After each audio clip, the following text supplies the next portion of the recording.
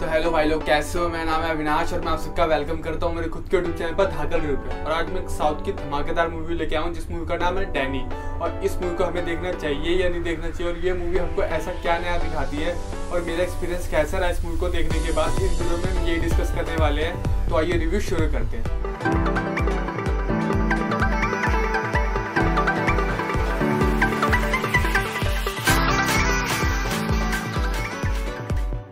ये movie release हुई थी 2020 में और इस मूवी का जॉनर है सस्पेंस थ्रिलर और इस मूवी को एम पे 5.2 की रेटिंग मिली है आउट ऑफ़ 10 की और गूगल यूज़र ने इसे 77 परसेंट के स्कोर दिए और इस मूवी का डायरेक्शन किया संथानन मूर्ति ने और इस मूवी की कास्टिंग में आपको बड़े बड़े एक्टर देखने को मिल जाएँगे जैसे वारा लक्ष्मी, विनोद किशन और अनिता संपत। और ये मूवी एक औसम मूवी होने वाली है। इस मूवी में आपको सस्पेंस के साथ साथ थ्रिलर का तड़का भी देखने को मिलेगा और इस मूवी में ना आपको बहुत कुछ नया देखने को मिलेगा। ये पूरी मूवी एक मर्डर मिस्ट्री के अराउंड घूमती है और इस मिस्ट्री को सॉल्व करने के लिए डैनी नाम का एक ऑफिसर आता है, जो एक डॉग है।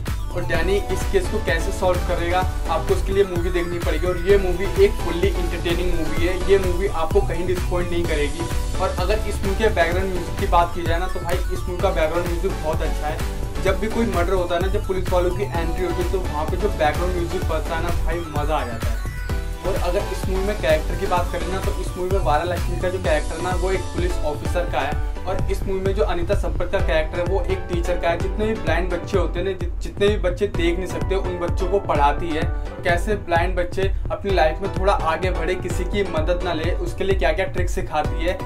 इस मूवी में आपको देखने को मिलेगा। और अगर इस मूवी में विनोद के कैरेक्टर की बात करें ना तो इस मूवी में विनोद का कैरेक्टर एक भाई दिमाग वाला पर्सन है, जिसको मेडिसिन की अच्छी खासी नॉलेज है और वो इस मूवी में आपको ड्रग्स लेता हुआ दिखाई देगा।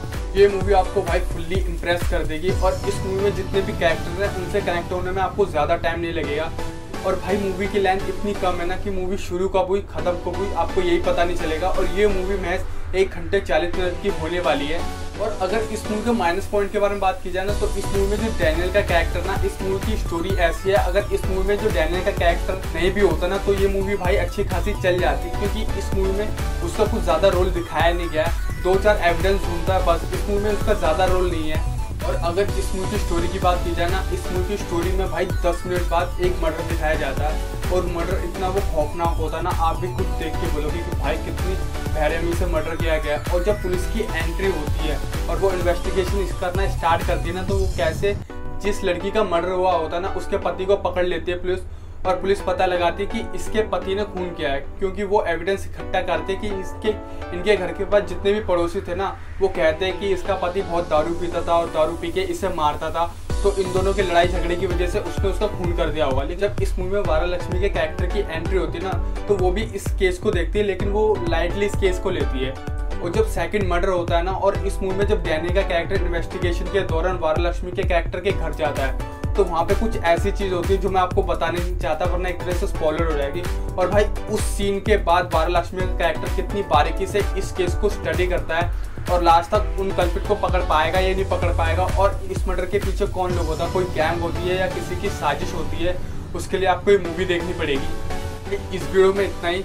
और अगर आपने मूवी देखी है ना तो भाई आपको कैसे लगे? मुझे कमेंट में बताना। और ये मूवी भाई आप अपनी फैमिली के साथ देख सकते हो। इस मूवी में कोई एडल्ट सीन नहीं है, कोई गाली लिए लेकिन भाई कुछ सीन ऐसे हैं जो बच्चे नहीं देख पाएँगे। तो प्लीज़ इस मूवी को बच्चों के साथ ना देखे। और अगर आपको ये वीडियो अच्छा लगा है ना तो प्लीज़ वीडियो को लाइक करें। और इस मूवी का लिंक मैं नीचे डिस्क्रिप्शन में दे दूँगा। तो इस वीडियो में इतना है। और अगर आपको ये वीडियो अच्छा लगा ना तो प्लीज़ भाई वीडियो को लाइक करें कमेंट करें शेयर करें एंड सब्सक्राइब करें। और सब्सक्राइब करके बेल आइकन ज़रूर दबा दीजिए। ताकि मेरी अगली वीडियो की नोटिफिकेशन आपके पास पहुँच जाए। तो मैं आपसे मिलूँगा अगली वीडियो में। Okay bye take